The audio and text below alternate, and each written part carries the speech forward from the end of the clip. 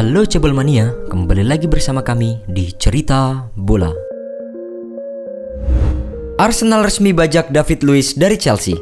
Deadline jendela transfer di Inggris musim panas 2019 ini diwarnai dengan kepindahan sensasional yaitu David Luiz yang menyeberang dari Chelsea menuju sesama tim London Arsenal. Meski tak disebutkan dalam pernyataan resmi Arsenal, akan tetapi media-media asal Inggris menyebutkan bahwa David Luiz digayat The Gunners dengan biaya 8 juta pound sterling. Bersama Arsenal, pemain asal Brazil itu mendapatkan kontrak selama 2 tahun. Kabar mengenai transfer David Luiz baru muncul sehari sebelum jendela transfer ditutup. Back berusia 32 tahun tersebut diklaim mangkir dari latihan Chelsea guna memaksakan kepindahan dirinya ke Arsenal. Hanya beberapa jam berselang, Chelsea dan Arsenal pun kabarnya sudah menyepakati harga David Luiz. David Luiz tertarik untuk menyeberang ke Arsenal yang memang sedang membutuhkan back tengah baru setelah ditinggal oleh Lauren Koscielny yang pindah ke Bordeaux.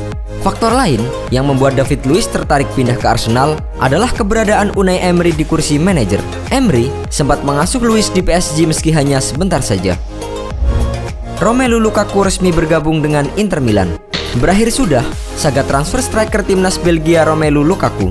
Setelah mengalami tarik ulur selama beberapa pekan terakhir, pemain berusia 26 tahun ini akhirnya resmi meninggalkan Manchester United untuk bergabung dengan raksasa Serie A Italia Inter Milan. Kabar ini sendiri menjadi sesuatu yang sudah ditunggu-tunggu mengingat kubu Inter sudah menyatakan ketertarikan mereka kepada Lukaku sejak dibuka bursa transfer. Namun, masalah harga menjadi penghalang kedatangannya hingga akhirnya kedua klub mencapai kata sepakat. Kedatangan Lukaku ke Inter dipastikan akan membuat masa depan Icardi berada dalam tanda tanya. Seperti diketahui, hubungan pemain asal Argentina tersebut dengan pihak manajemen Inter terus memburuk sejak musim lalu. Sang manajer, Antonio Conte, juga sudah mengkonfirmasi bahwa Icardi tidak masuk dalam rencananya musim depan. Bergabungnya Lukaku ke Inter Milan sendiri mengakhiri dua musim karirnya di Old Trafford. Selama kurun waktu tersebut, ia sudah tampil di 90 laga untuk Manchester United dengan torehan 42 gol dan 13 assist.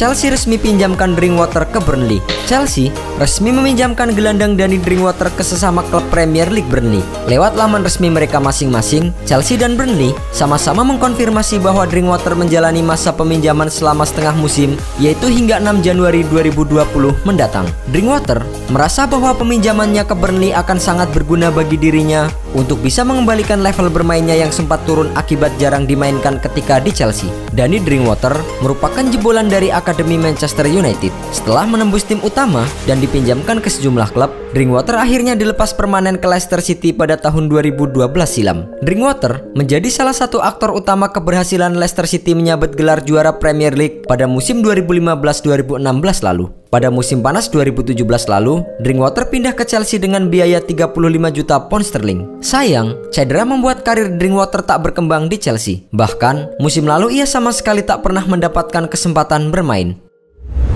Arsenal resmikan transfer Kieran Tierney. Arsenal akhirnya resmi merekrut Kieran Tierney dari Celtic.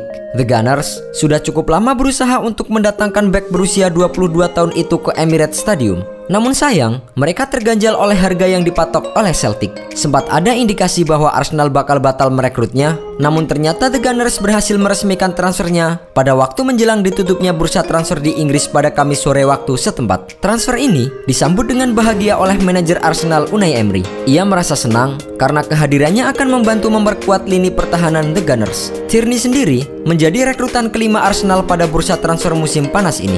Tierney memulai karir sepak bolanya dengan bergabung bergabung dengan tim junior Celtic pada tahun 2005 silam. Pada tahun 2015, ia dipercaya untuk bergabung di skuad senior Celtic. Satu tahun kemudian, berkat performa apiknya, ia dipercaya untuk membela timnas Skotlandia. Sejauh ini, Tierney telah bermain sebanyak 170 kali bagi Celtic dan di level timnas, ia telah mengoleksi 12 caps.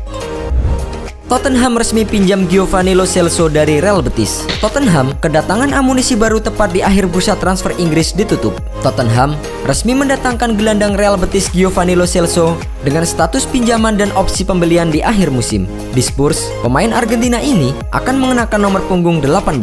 Lo Celso merupakan pemain yang ingin didatangkan oleh Pochettino pada musim ini. Bahkan, dikabarkan Pochettino sendiri yang meminta manajemen Tottenham untuk segera mengangkut sang pemain ke London. Nama Lo Celso mulai dikenal ketika ia membela PSG. Sempat tampil reguler pada musim 2017-2018, namun ketatnya persaingan di lini tengah PSG membuatnya dipinjamkan ke Real Betis. Bersama Betis, karirnya mulai menanjak dengan memainkan 32 pertandingan dan berhasil mencetak 9 gol. Penampilannya tersebut membuat Betis memilih untuk mempermanenkan statusnya pada April 2019. Everton resmi dapatkan Alex Iwobi. Tak berselang lama usai merampungkan perekrutan David Luiz, Arsenal resmi melepas gelandang serang Alex Iwobi ke sesama tim Premier League Everton. Lewat laman resmi mereka, Everton menyatakan bahwa Iwobi digait dengan biaya transfer yang dirahasiakan. Meski demikian, media-media Inggris menyebut bahwa kepindahan Iwobi berkisar senilai 40 juta pound sterling. Iwobi menaikkan kontrak di Everton dengan durasi 5 tahun, yaitu hingga Juni 2024 mendatang. Gelandang 23 tahun itu menjadi rekrutan ketujuh pihak klub pada musim panas ini. Manajer Everton Marco Silva mengungkapkan bahwa Iwobi merupakan target utama tim di jendela transfer musim panas ini. Iwobi sendiri merupakan produk asli Akademi Arsenal yang berhasil menembus tim utama pada 2015 silam. Bersama Arsenal, Iwobi sudah mencatatkan penampilan sebanyak 149 kali dengan mencetak 15 gol di semua kompetisi. Sementara di level internasional, Iwobi yang membela timnas Nigeria hingga kini sudah memiliki 36 caps dan 6 gol. Ryan Sessegnon resmi bergabung dengan Tottenham Hotspur. Back timnas Inggris usia 21, Ryan Sessegnon akhirnya resmi bergabung dengan Tottenham Hotspur. Pemain 19 tahun tersebut datang secara permanen dari Fulham dan akan diikat kontrak hingga 6 musim ke depan. Sebagai bagian dari transfer tersebut, Fulham mendapatkan pemain muda Spurs Josh Onomah. Dapat dimainkan di berbagai posisi di sektor kiri, baik sebagai gelandang maupun back sayap. Sessegnon akan diproyeksikan sebagai solusi jangka panjang Spurs, terutama untuk posisi back kiri. Seperti diketahui, musim 2019-2020, mereka hanya memiliki Danny Rose dan Ben Davis sebagai back kiri murni. Kedatangan Sessegnon sendiri menjadi kes keseriusan anak asuh Pochettino untuk bersaing memperebutkan gelar di musim ini. Produk Akademi Fulham ini menjadi rekrutan keempat Pochettino. Sessegnon dipromosikan ke tim senior Fulham pada 2016 silam kala usianya masih 16 tahun. Ia mengakhiri pengabdiannya di Fulham dengan mencetak 25 gol serta 18 assist dari 120 penampilan. Gagal ke Inggris Paulo Dybala ditawarkan ke PSG. Ditutupnya bursa transfer Premier League bukan berarti peluang bagi Paulo Dybala untuk pindah juga tertutup. Kali ini, Juventus akan berupaya menjual Paulo Dybala ke PSG. Juventus memang berjuang untuk melepas Paulo Dybala pada bursa transfer awal musim 2019-2020 ini. Juventus sudah mencoba untuk menawarkan pemain berusia 25 tahun itu ke klub asal Inggris yaitu Manchester United dan Tottenham. Namun, hingga bursa transfer ditutup, tidak ada kesepakatan yang terjadi. Dybala dikabarkan menolak kesepakatan tersebut. Kini, seperti dikutip dari The Independent, niat Juventus untuk menjual Paulo Dybala masih tetap ada. Kali ini, Juventus berniat untuk menawarkan sang pemain ke PSG. Juventus sendiri memang sedang membutuhkan dana segar untuk menyeimbangkan raca keuangan klub. Salah satu cara yang bisa ditempuh adalah dengan melepas Paulo Dybala ke klub lain dengan harga yang mahal. Zinedine Zidane kecewa pada Florentino Perez. Sebuah kabar kurang sedap datang dari Real Madrid. Pelatih mereka Zinedine Zidane diberitakan tengah marah besar terhadap sang presiden Florentino Perez. Pada musim panas ini, Real Madrid memang bergerak aktif di bursa transfer. Mereka telah mengeluarkan dana sekitar 300 juta euro untuk bisa mendatangkan 5 pemain baru ke Santiago Bernabeu. Meski begitu, Zinedine Zidane belum merasa puas dengan belanja besar Madrid tersebut. Ia diberitakan menginginkan satu pemain lagi yaitu Paul Pogba. Dilansir dari Sportsmall bahwa transfer Pogba ini membawa masalah tersendiri bagi El Real. Zinedine Zidane diberitakan sangat kecewa kepada Perez karena pihak klub gagal mengamankan saga transfer ini. Perez diberitakan tidak bisa mendatangkan Pogba karena mereka belum berhasil menjual James Rodriguez dan Gareth Bale yang direncanakan akan menjadi sumber dana untuk transfer Pogba. Barcelona ajukan tawaran akhir untuk Neymar. Barcelona diberitakan belum menyerah untuk mendatangkan Neymar. Mereka diberitakan akan mengajukan tawaran final untuk pemain PSG itu dalam waktu dekat ini.